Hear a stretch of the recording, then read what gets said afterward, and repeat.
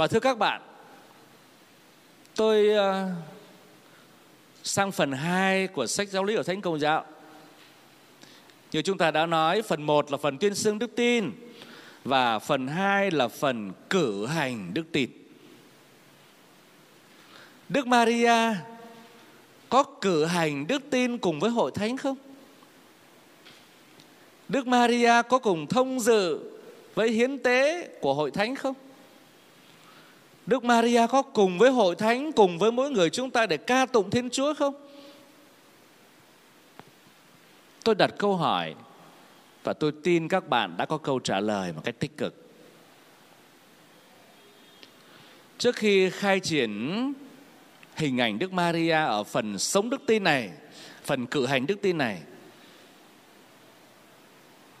tôi có thể đưa ra một cái hình ảnh cụ thể Đức Maria chính là phần tử của hội thánh. Mẹ dâng lời ngợi khen chúc tụng Thiên Chúa. Cử hành các mầu nhiệm của hội thánh, cử hành các mầu nhiệm đức tin nghĩa là gì? Nếu không phải là dâng lời ngợi khen Thiên Chúa nếu không phải là chúc tụng Thiên Chúa đấng đã làm những điều kỳ tuyệt cho nhân loại, cho hội thánh và cho mỗi người chúng ta. Nếu không phải là sống tâm tình con thảo, tâm tình tạ ơn, tâm tình tán tụng. Và khi giáo hội sống tâm tình con thảo ấy, giáo hội nhận thấy mẫu gương sống động của Đức Maria hiển thê, Đức Maria thiếu nữ Sion, Đức Maria, phần tử của hội thánh, đang cùng với hội thánh ngợi khen chúc tụng Thiên Chúa. Ở số 1138 Sách giáo lý Hội Thánh Công giáo đã khẳng định rằng muôn loài được quy tụ trong Đức Kitô đều tham dự vào việc ca tụng Thiên Chúa và chu toàn thánh ý của người muôn loài, nghĩa là các thiên thần, nghĩa là loài người ta, nghĩa là ánh bình minh, nghĩa là bóng chiều tà.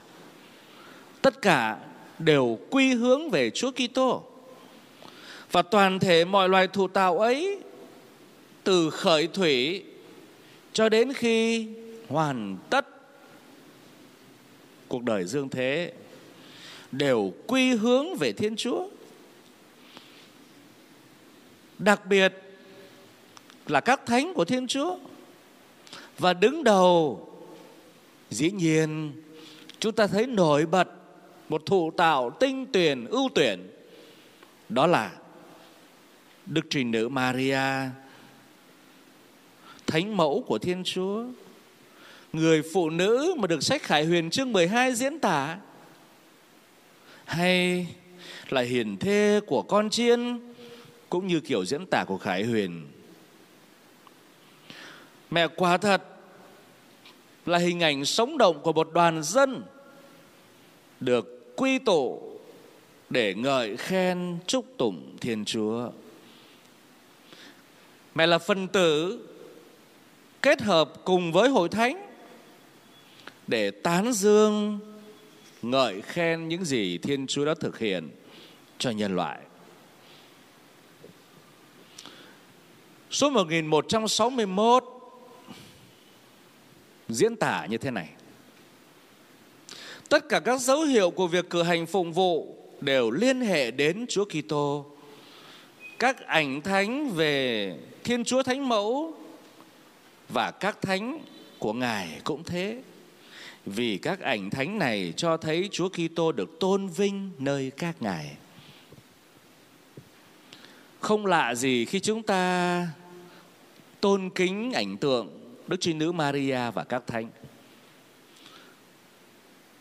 Cách riêng chúng ta nói đến một nền thần học về ảnh tượng, thần học về icon của giáo hội Đông Phương Tôi diễn tả ngắn gọn như thế này để các bạn dễ hình dung. Đối với người công giáo của chúng ta đó, công giáo Tây Phương đó, chúng ta yêu mến sùng kính các ảnh tượng. Thế nhưng mà đôi khi nó có nhiều cái chuyện. Ví dụ tượng ông thánh ngày lễ thì đem ra trưng ở bàn thờ. À, lễ xong thì đem vào kho ta cất. À, bụi bặm, rồi thì chùm khăn, rồi thì té, rồi sứt ờ, tay, rồi lại bể chán. Không chỉ ông thánh đâu mà đức mẹ cũng thế. Đến lúc mà đến ngày lễ đem ra thì mẹ bị cụt tay rồi. Đối với đông phương đó, họ sùng kính các bức ảnh tượng một cách rất là, có thể nói là giống như chúng ta tôn sùng thánh thể vậy. Thánh thể là chính sự hiện diện của thiên chúa còn đông phương người ta nhìn nhận chính các ảnh tượng diễn tả sự hiện diện hữu hình của thiên chúa của đức mẹ của các thánh các ảnh tượng phản chiếu sự thánh thiện của Thiên Chúa. Số 1161 diễn tả cho chúng ta điều đó. Chính vì vậy, chúng ta thấy là trong các nhà thờ, các nhà nguyện, nhất là trong các cái kiến trúc cổ ngày xưa đó, vô nhà thờ chúng ta thấy là tượng ảnh rất nhiều.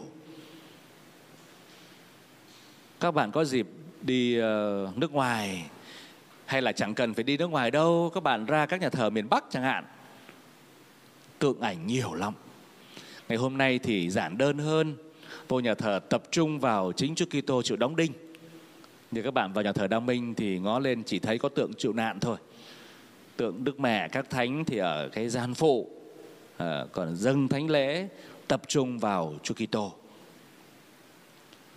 ở đây Sách Giáo Lý nhắc đến việc tôn kính ảnh tượng thánh và đó là một điều đạo đức. Chính việc tôn kính như thế ờ, nhắc nhớ cho chúng ta sự hiện diện thánh thiêng của Thiên Chúa. Và ở số 1172 thì sách giáo lý nói rằng, khi cử hành chu kỳ hàng năm các mầu nhiệm của Chúa Kitô, hội thánh đặc biệt yêu mến tôn kính Đức Trinh Nữ Maria, mẹ Thiên Chúa, vì mẹ đã kết hợp với con mình trong công cuộc cứu chuộc bằng sợi dây liên kết chặt chẽ.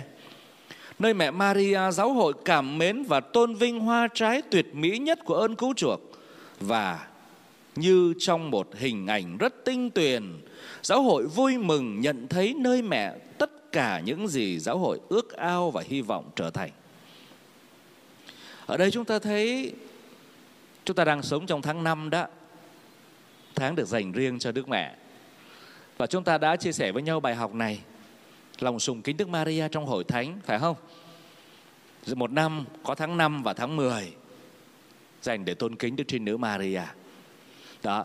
Rồi theo các mùa phụng vụ, mùa vọng, mùa Giáng sinh, mùa chay, mùa phục sinh, chúng ta đều có hình ảnh Đức Maria như một mẫu gương sống động, sống đời sống phụng vụ đó. Đó. rồi còn có cả các thánh lễ dành riêng cho Đức Mẹ trong năm nữa. Các bạn nhớ có bao nhiêu thánh lễ trọng, bao nhiêu lễ kính, bao nhiêu lễ nhớ buộc, bao nhiêu lễ nhớ tự do dành cho mẹ không? Bốn, ba, bốn, bốn. Phải không nào? Bốn lễ trọng, ba lễ kính, bốn lễ nhớ buộc, bốn lễ nhớ tự do. Như vậy, chúng ta thấy Đức Maria ờ, thực sự tham dự vào việc cử hành phụng vụ của hội thánh. Mẹ cử hành đức tin cùng với hội thánh và chúng ta có được mẫu hình đó để chúng ta cùng với mẹ tham dự các cử hành bí tích một cách sốt sắng.